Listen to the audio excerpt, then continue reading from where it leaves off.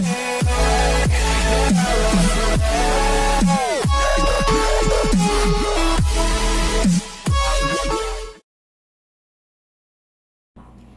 everyone! Welcome back to my channel. Ang ituturo ko ngayon ay Revit. So, ang lesson natin ngayon ay ang paggawa ng grid line, kung paano ito i-modify, at paggawa ng elevation. So, gawan natin ng grid line itong two-story house na ito at punta tayo sa kanyang floor plan. Ang kanyang vertical grid line ay tatlo from A hanggang C.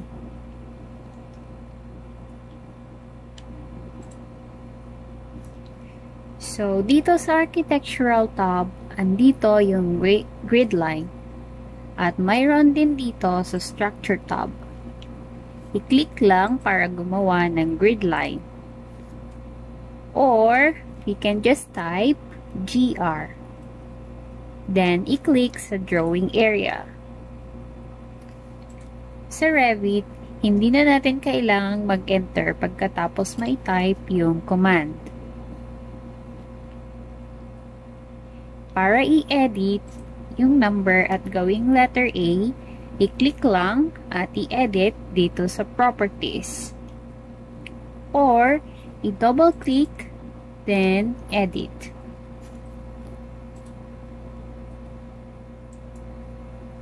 Next, para gumawa ulit ng bago, i-click, then right-click, create similar, at itapat lang dito sa dulo, so lalabas yung sukat, at i-click kung ano ang distance.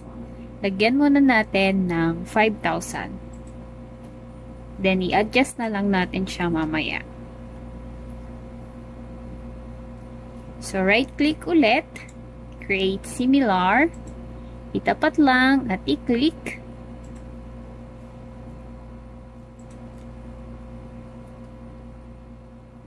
Para i-adjust yung distance, so tignan muna natin yung distance.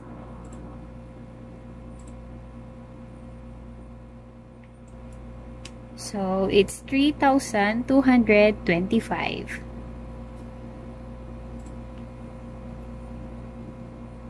I-click lang, then lalabas yung sukat, i-double click para ma-edit.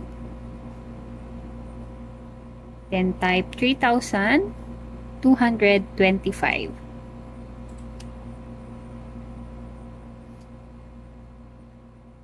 Next,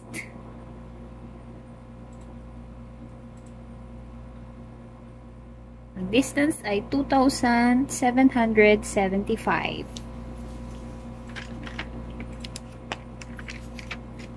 So, the same pa rin, i-click lang para ma-edit. And take note kung alin ang i-adjust yung dapat ang i-click. So, subukan natin dito.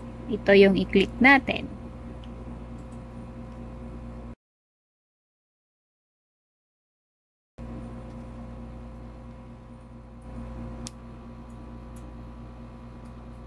So, dapat ito yung i-click.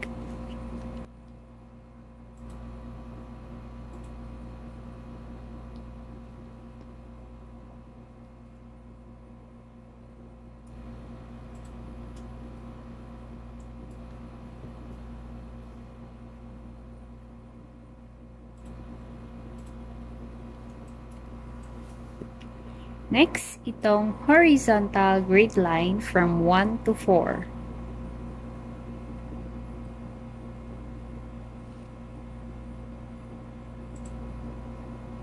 So, let's type GR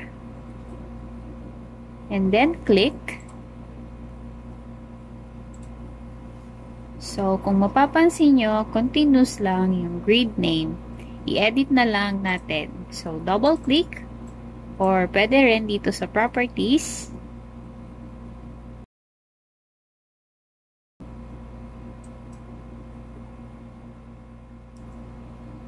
Same pa rin, right click, create similar. Itapat lang. then click. So, gawin na natin hanggang 4. At pamaya na natin baguhin ang distance.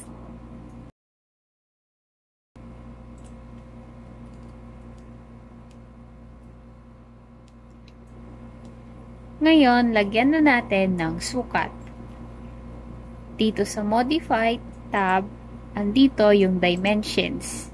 I-click lang or we can just type DI. Then, click and click pwedeng i-continue. At pagkatapos, i-click lang sa space. Ngayon, i-adjust na natin yung tamang sukat.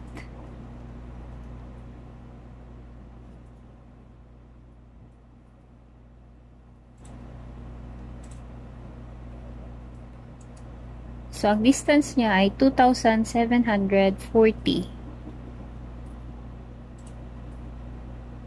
So, i-click lang, then i-edit.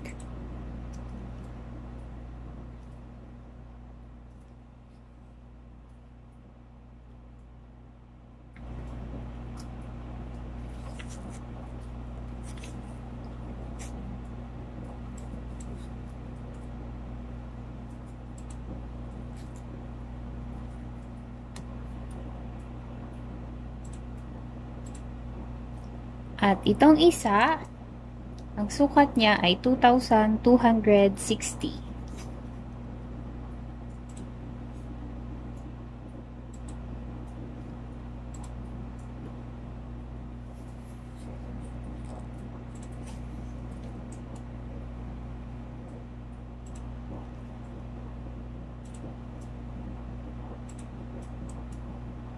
Next is 4,000.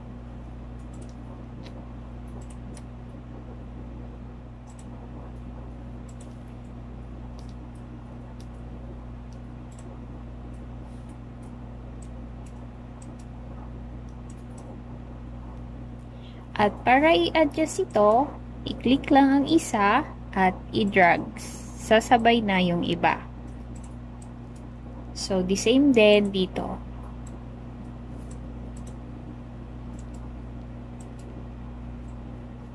Para maiwasang magalaw ang sukat, pwede rin nating ilock ang dimension. I-click lang, then pindutin itong lock.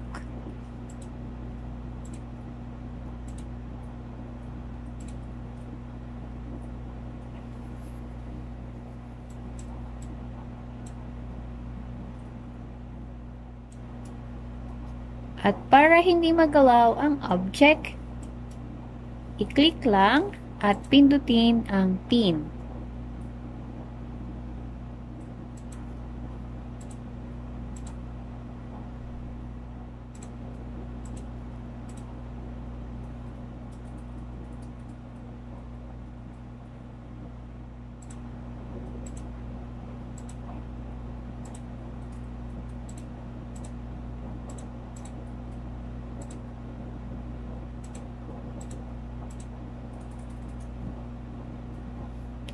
At kapag i-move, i-pin lang natin.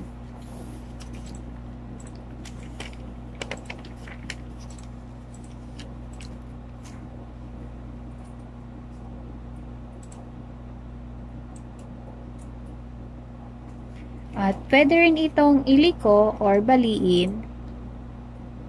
Then, pindutin dito sa add elbow. At i-adjust.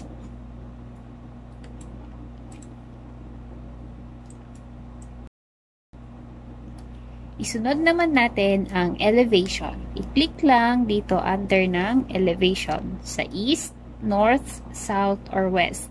Kahit alin muna sa isa dito. Mayroon ng dating nakalagay, so pwede natin itong i-rename. I-click lang, then rename natin ng ground floor.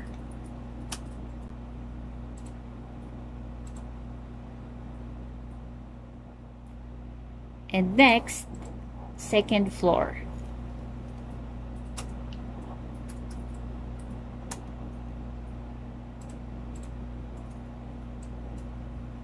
At mag-add tayo. Right click create similar then itapat lang sa dulo at i-click.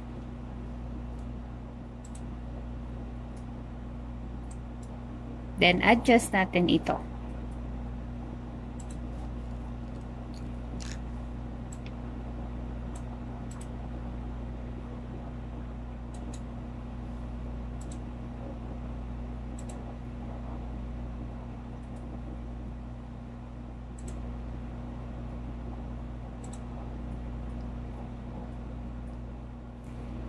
At i-rename natin ito ng top beam.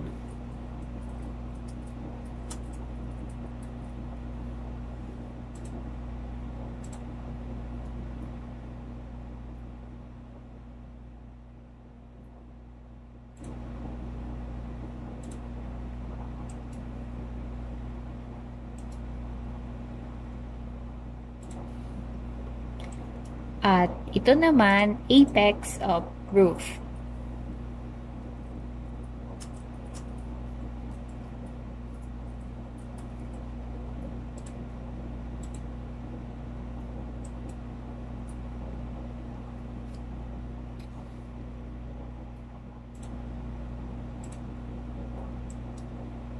So, ang height ng second floor ay 2,200.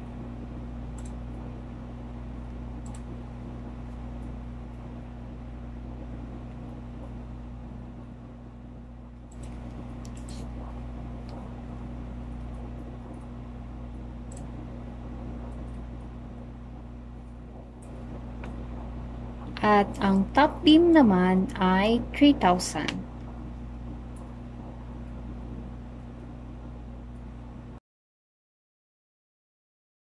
Sa paggawa ng elevation dito sa Revit, ang height distance ay continuous at laging nagsisimula dito sa zero level. Kung ang height distance ng second floor simula ground floor ay 2,200, at ang height distance ng top of beam simula second floor ay 3,000. So, 2,200 plus 3,000 is equals to 5,200.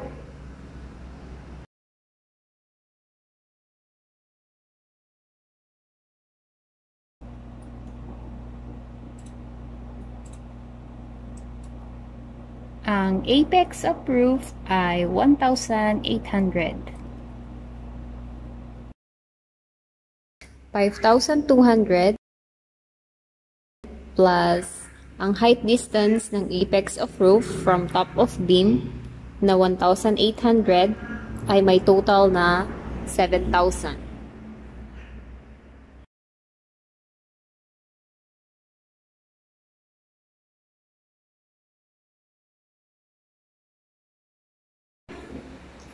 I-adjust natin ito.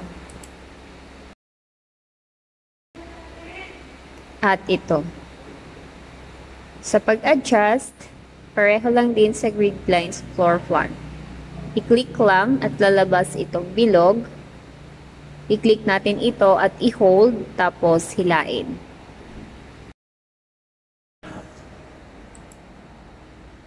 The same sa paggawa sa grid line sa floor plan dito sa elevation, yung grid ay pwede ring baliin at i-adjust kung kinakailangan. Kung mapapansin nyo, yung inedit natin dito ay sumunod dito sa mga ipinangalan natin dito. Para bumalik sa floor plan, i-click lang dito kung saan floor plan. Halimbawa, ground floor.